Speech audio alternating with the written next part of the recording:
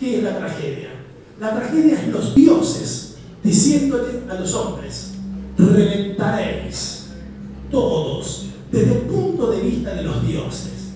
La diferencia entre griegos y troyanos, entre blancos y negros, entre varones y mujeres, entre justos e injustos es irrelevante.